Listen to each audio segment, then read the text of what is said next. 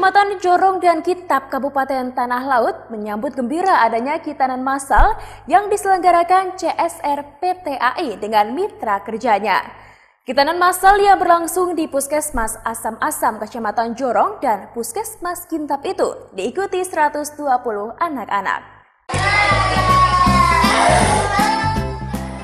Suara tangis warnai kegiatan hitanan massal yang berlangsung di Puskesmas Asam-Asam dan Puskesmas Kintab.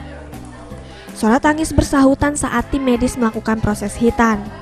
Hitanan massal di Puskesmas Asam-Asam diikuti hampir 35 anak, sedangkan di Puskesmas Kintab mencapai 85 anak.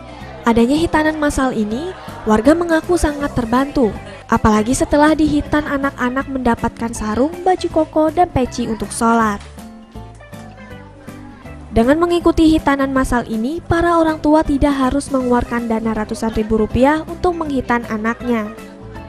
Bantu yang orang-orang yang kada mampu bisa inilah ibaratnya tuh bisa terbantu lah dengan program apa nih sunat masal nih. Sepengetahuan biar berapa bu untuk ah, sunatnya? Sunat masal ini biasanya sekitaran 500 600 biasanya sepengetahuan. Per orang kalau kita ke ke biasa. Nah. Jadi kalau dengan ada ini gratis ya? Ini alhamdulillah ini kan gratis. Alhamdulillah ibaratnya terbantu yang orang kada mampu ibaratnya membantu sekali cukup terbantu ya? Cukup terbantu. Dengan kita keadaan kita kayak sekarang ini loh terbantu lah. Alhamdulillah. Sangat terbantu ya. eh, orang apa nah alhamdulillah.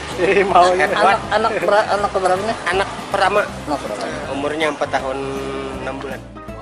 Hitanan masal ini merupakan program rutin PTAI dengan mitra kerjanya dengan sasaran masyarakat yang tinggal di sekitar wilayah kerja perusahaan.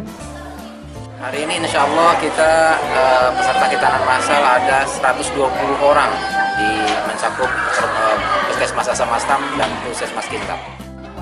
Dalam pelaksanaan hitanan massal ini dibutuhkan sekitar 32 orang tenaga medis, masing-masing 16 orang di Puskesmas Asam-Asam dan 16 di Puskesmas Kintab. Dari Tanah Laut Zulkifli Yunus, Ayus melaporkan.